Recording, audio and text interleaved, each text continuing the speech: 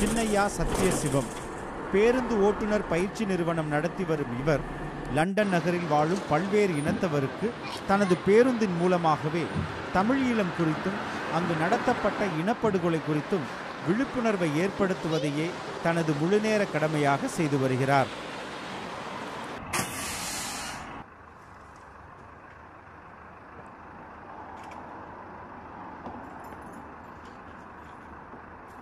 இங்கிலாந்து அரசின் தேசிய கொடி மற்றும் அந்நாட்டின் தேசிய மலரான ரோஜா ஆகியவற்றுடன் தமிழ் ஈழக் கொடி மற்றும் ஈழத்தை அடையாளப்படுத்தும் காந்தல் மலரையும் தனது பேருந்தின் நான்கு பக்கங்களிலும் பொறித்து வைத்துள்ள இவர் ஈழம் என்றாவது மலரும் என்று தான் நம்புவதாக தெரிவித்தார்.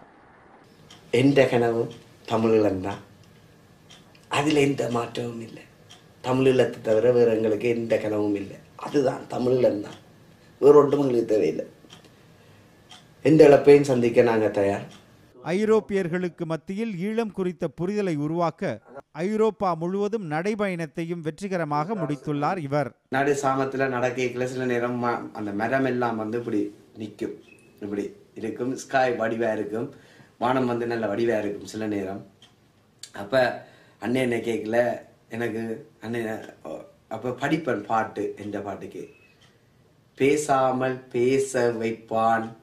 பிரபாகரன் சொல்லாமல் செய்ய வைப்பான் பிரபாகரன்.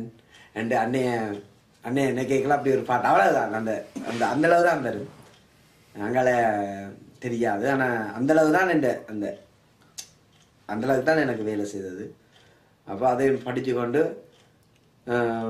சும்மா ஒரு ஒரு ஒரு ரெண்டு நடப்பேன். ஏனண்டா எனக்கு பிப்ரவரி வெளிக்கிட்டது இருபதாம் தேதி. அங்கே மார்ச் நாலாம் தேதி அங்கே நிற்க வேணும். அதுதான் என்ற இது. அப்போ எல்லாரும் சொன்னவே நீங்கள் செய்து முடிக்க மாட்டீங்க முடிக்க மாட்டீங்க சரியான கஷ்டம். இட்ஸ் நாட் ஈஸி அண்ட் இது சரியான கஷ்டம் உண்டு ஆனால் கஷ்டம் உண்டு அதைத்தான் செய்து முடிக்கணும்.